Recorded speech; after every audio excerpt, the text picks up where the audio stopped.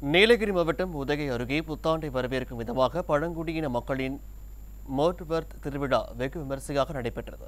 நீலகிரியில் தோடர் குறும்பர் இருளர் பனியர் காட்டு நாயக்கர் கோத்தர் என ஆறு வகையான பழங்குடியின மக்கள் வாழ்ந்து வருகின்றனர்.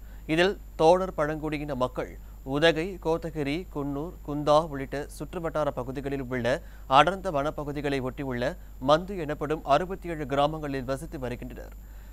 இந்நிலை புத்தாண்டை வரவேற்கும் விதமாக பழங்குடியின மக்களின் மர்டுவர்த் திருவிழா முத்தநாடு மந்து பகுதியில் நடைபெற்றது. இதில் இ- இளைஞர்கள் தங்களது வலிமையை வெளிப்படுத்தும் விதமாக இளவட்ட கல்லை தூக்கி தங்களது திறமையை வெளிப்படுத்தினர். மேலும் பல்வேறு வகையான வழிபாடுகள் செய்து மர்டுவர்த் திருவிழாவை சிறப்பாக கொண்டாடினர். தங்களது விவசாயம் செழிக்கவும் உலக மக்கள் நன்மை பெற வேண்டியும் பழங்குடியின மக்கள் இத்திருவிழாவை கொண்டாடி இறைவனை வழிபட்டனர்.